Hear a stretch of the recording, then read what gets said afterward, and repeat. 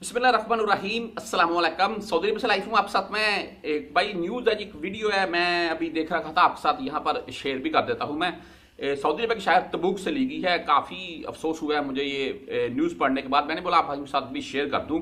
खासकर जो फैमिली यहाँ पर मुकीम हैं जी, उनके लिए। ज़ाहिर सी बात आपको पता छोटे बच्चे होते हैं साथ में तो अक्सर यहाँ पर घुमाने के लिए हमारे पास जगह क्या होती है फैमिलीज़ को?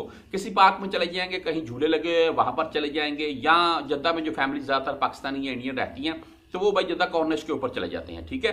तो ऐसा ही हर शहर में फैमिलीज़ हैं जी, पाकिस्तानी भी हैं इंडियन भी हैं, लेकिन ये जो बच्चा जहाँ हक हुआ है जी, ये इब्राहिम इसका नाम था सऊदी बच्चा था जी, ये वाक्य कुछ यूँ हुआ है कि मैं यहाँ पर आपके साथ कुछ पिक्चर और वीडियो भी अभी आपको चलाकर दिखा दूँगा, जिस वीडियो में आप देख सकेंगे तमाम तरह मामला। तो भाई वाक्य कुछ यूँ हुआ है कि तबूक में जो आपको पता ही, आप मेला बोल रहे हैं जी उसे, जैसा कि हम अक्सर पाकिस्तान या इंडिया में हमारे मेले लगते हैं। यहाँ पर रियाज सीज़न चल रहा है जैसा कि ऐसा बोला जाता है लेकिन इसे हम मेला ही बोलेंगे।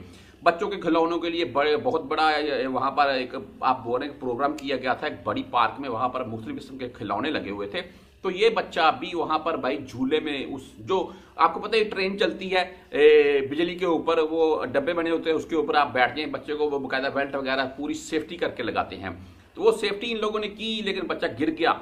नीचे गिरा जब वो जो रेल थी, उसके जो चढ़ रखी थी नीचे बाई, उसके टायर वगैरह थे, लोहे के होते हैं, आपको पता है। तो उनके नीचे आया ये, फिर उसके, उनके नीचे आने के बाद ये जाँ बाहक हो गया। यहाँ पर वो ट्रेन वगैरह के मतलब आप तमाम तरह तफसील, यानी कि इस वीडियो में देख भी सकते हैं।